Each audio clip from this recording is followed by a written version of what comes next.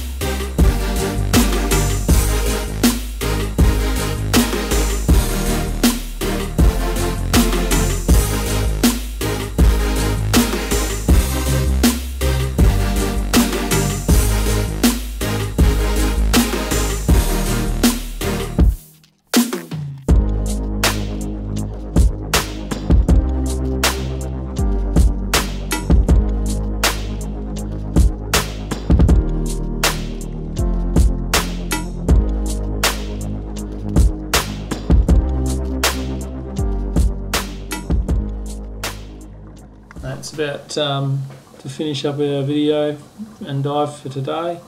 This is a, an eagle ray. It was just laying in the weed. Madison noticed a few fish was sort of eating stuff off of its back, and uh, I don't know if they were helping him clean parasites or whatever. But that's it. Hope you enjoy. Bye.